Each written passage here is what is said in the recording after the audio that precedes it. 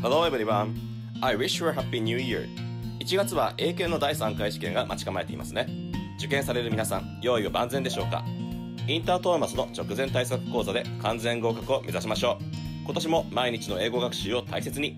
One step ahead. Hello, everyone. Welcome back to PR1. Do you ever wonder where the moon and the sun came from? The Inuit people of Alaska had an interesting theory. Let's read the first part of it. They tell a story about a beautiful girl. She was very nice. In contrast, her brother was a mean little boy. One day he proposed something.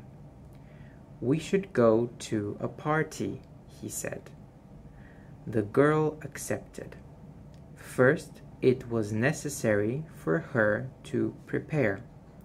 She arranged her hair and put on nice clothes.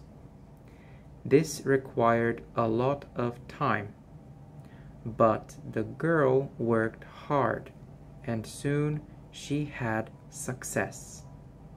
She looked perfect. They attended the party together. The girl was having fun. Later, she walked into the bathroom. Suddenly, the lights were turned off.